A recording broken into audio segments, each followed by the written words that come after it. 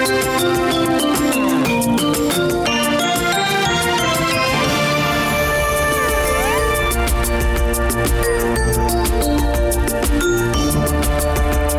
mtazamaji, dakika za lala salama ndani ya jukwaa la afya hii leo, tukiwa tunaangazia tatizo la fibroids. Wengi mumepiga simu na kuuliza maswali kupitia nambari zetu za arafa. Kwa hivyo dakika hii ya mwisho, kama nilivyosema, nitampatia daktari pamoja na mtaalamu wa lishe fursa ya kujibu baadhi ya maswali ambayo mtakuwa pia bado mnaendelea kuyatuma. Kuna msichana hapa me, anauliza anasema, anaitwa Sasha na miaka kumi na saba, niko form 3 lakini sometimes nahisi mgongo ikiniuma sana pamoja na kiuno hadi kuna time siendi shule. Daktari na, anaweza kuniambia shida ni nini? Asanti. Inawezekana kuwa huyu mtoto pia ana maumivu wakati wa hedhi, ile tulisema dysmenorrhea, na pia ni vizuri akuje tumkague hospitalini tuangalie kama ako na zile nilisema polycystic ovarian syndrome, na pia asikue ako na shida ya uvimbe yenye tumetaja leo mayoma. Kwa hivyo ni muhimu kwake kukuja hospitali tumwangalie. Hmm. Kuna dhana hapa, huyu anauliza inakuja kwako Ndenya, ni kweli kwamba cabbage inapunguza uwezekano wa kupata fibroids ama kuzifanya zishrink?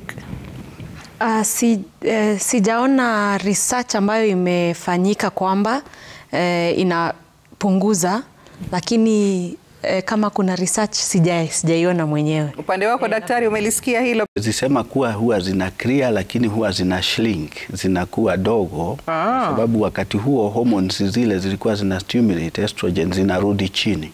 mm -hmm. Eh, Kwa hivyo kuzaa normal kuna manufaa yake. Kwa miaka mitano na sijafanikiwa, nimekaguliwa na daktari, sina shida, nisaidie daktari. eh, ni vizuri pia aangaliwe zile tunaita hormonal profiles mm -hmm. tuangalie, kwa sababu zikiwa na upungufu anaweza pata hiyo hedhi ikiwa kidogo sana, na ni vizuri aone daktari wake tena, apewe madawa. Kuna madawa ya kuboost hizo hormones ndio aweze kuona hedhi kama kawaida, na pia kuongeza fertility, yaani uwezekano wa kupata ujauzito. Okay. Nina miaka kumi na tisa na natumia family planning ya miaka mitatu. Je, inaweza kuniletea fibroids baadaye? Hapana, hakuna uhusiano wa njia za kupanga uzazi na kuwa na fibroid. Kama vile tumesema, utafiti haujaonyesha kwamba ukitumia Depo-provela utapata fibroid. Hakuna uwezekano. Uh, Brina kutoka Huruma anasema anahisi uchungu wakati wa... Kwa ukuta. Kwa hivyo ni vizuri akuje angaliwe, na pia vile nimetaja PCOS uh, aangaliwe pia kama ako na hiyo shida ya polycystic ovarian syndrome. Huwa anasema nilipata miscarriage last year na hadi sasa sijafanikiwa kupata mtoto, period zinaruka sana. Ni vizuri pia akuje kwa sababu wakati period zinaruka sana na saa zingine zinakuwa na maumivu, kuna uwezekano anaweza kuwa ako na infection kwa ile sehemu ya ndani ya kizazi. Pia anaweza kuwa na uvimbe na pia anaweza kuwa uwezekano wa kuwa na adenomyosis. Mm -hmm. Kwa hivyo ni vizuri Nini hiyo adenomyosis sijui? Hiyo ni nyama ya ndani endometrial lining ya Oh, hilo umesema kwamba inakuja ina, inazuia inamea kwa ukuta mm. inamea ndani ya ukuta ya, inakuwa intramural Mm. Eh. Na tatizo hilo limekithiri vipi pengine miongoni mwa wanawake ukiangalia ku hizo tatizo lazidi kuongezeka. Tumesema ya kwamba tunaona wengi sana wakikuja hospitalini wakiwa na hilo tatizo mm-hmm. Shida ya kutoweza kupata ujauzito imeongezeka sana mm. Na wengi wao ni kwa ajili wanakuja kama wamechelewa sana. Nimeona wamama wanakuja wakiwa na miaka hamsini na mbili hata zaidi wa, na bado hawajawahi pata mtoto na wana, saa hiyo ndio mara yao ya kwanza kukuja hospitali na wanahitaji, wanasema wanataka usaidizi waweze kupata ujauzito. Sasa daktari, mtu iwapo pengine ameingia katika ndoa, baada ya muda gani asipopata ujauzito ajue hapa pana tatizo ambalo linastahili kushughulikiwa?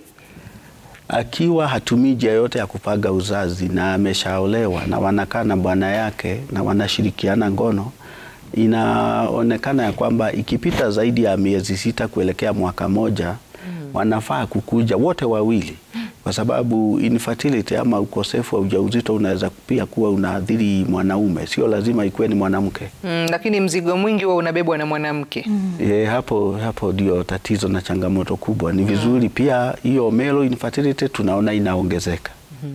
E, Okay, sasa tuzungumze kauli za mwisho. Nianze na wewe mtaalamu wa lishe Ndenya, ushauri wako kwa kina mama, wanawake, wasichana ambao wanatutizama watumie vipi lishe kuimarisha afya yao ya kizazi na hususan katika tatizo hili la fibroids?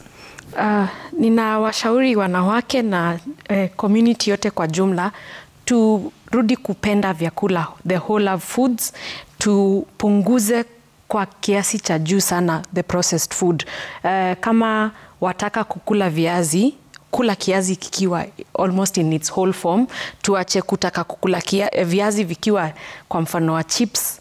Tupende um, mboga, matunda, eh, tunywe maji na haswa tule vyakula ambavyo vina rangi, kwa sababu nitarudia hii na mimi hurudia kila wakati kwamba kila rangi unayoona kwa chakula um, vyakula ambavyo vimetoka kwa shamba, vyakula eh, eh, whole foods inakupea vitamins na minerals mingi.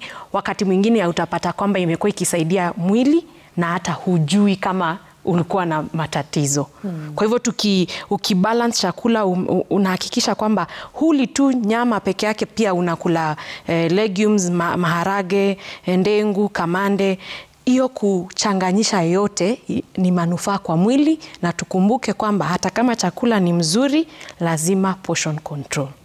Okay. Yes. Daktari, kuna hili swali limeulizwa na watu wengi, naona wacha tuli, ulijibu kabla ya kumaliza. Yes. Nahisi uchungu wakati wa kushiriki ngono na wakati wa hedhi, lakini sana sana hii kuhisi uchungu wakati wa kushiriki ngono inaletwa na nini? Watu si mmoja si wawili wameuliza swali hili, pengine huwa inatati- inaletwa na nini? kuna matatizo kadhaa ambayo inaweza sababisha hiyo uchungu e, na sana sana lile huwa tunaona ni kama kunao ugonjwa ambao haujatibiwa sana sana kuna bakteria inaitwa bakteria vaginosis mm huwa Gardnerella vaginalis huwa inachangia sana maumivu. Kuna pia kuna aina ya viini kama vile Trichomonas vaginalis ile inasababisha strawberry cervix.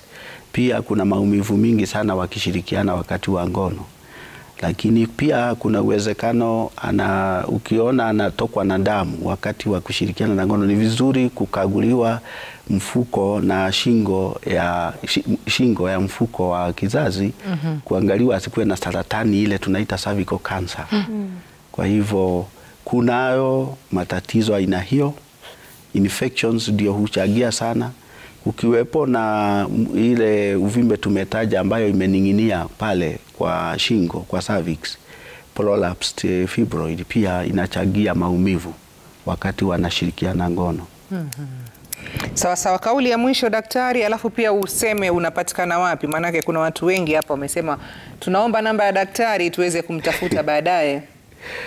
E, kauli yangu ya mwisho ni kwamba ni vizuri watu kubalance chakula, kufanya mazoezi, kuavoid sedentary lifestyle, kupunguza unene wa mwili ndio tuweze kupunguza hii uvimbe, kwa sababu ni mojawapo ya lifestyle diseases ambazo zimeongezeka sana, na ni vizuri watu kukuja hospitali hata za serikali kwenye anafanya kazi kukaguliwa. mm -hmm. Tuko na vifaa vya ultrasound tumepewa na serikali yetu ambazo zinasaidia watu sana kugundua mapema magonjwa ya saratani, magonjwa ya uvimbe. Mimi ni Daktari Steven Gige na kuanga kule kaunti yetu ya Murang'a. Kaunti yetu inajulikana sana kwa lishe bora. Para, hii parachichi ni mingi sana huko, makadamia ni mingi, maembe ni mingi, e, ndizi ni kwa wingi huko. Uh, kwa hivyo ni vizuri sana hata tomoko ile matunda ambayo tunauza hapa Nairobi mingi inatoka kaunti yetu ya Murang'a. Asante. Kuna namba ya simu ambayo pengine watu wangekupata. Mara nyingi watu Usipatie yako personal. hiyo namba huwa nasema juu mimi ni daktari wa serikali, ni vizuri wajue namba ya mlango pahali wanaweza nipata pale hospitali ya serikali ya Maragwa, kwa sababu Okay. mimi ndiye daktari mkuu hapo Ah. medical superintendent, room nambari ishirini na mbili. Wakikuja wakati wowote, na huwa wanakuja wengi, mm. tunawasaidia hata Okay. wakitoka Mpeketoni hata Ukunda, wakikuja tunawasaidia. Sawa sawa, mtazamaji, iwapo basi una tatizo lolote ambalo linahusiana na afya ya uzazi, daktari umempata ndio huyo.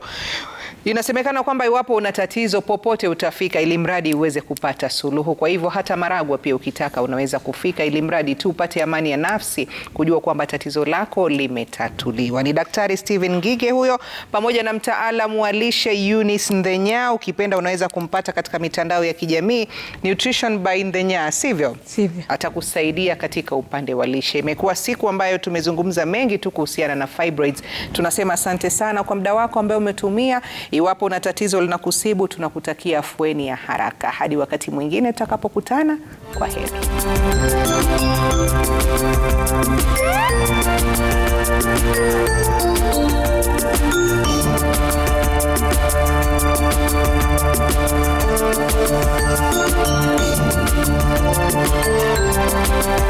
Thank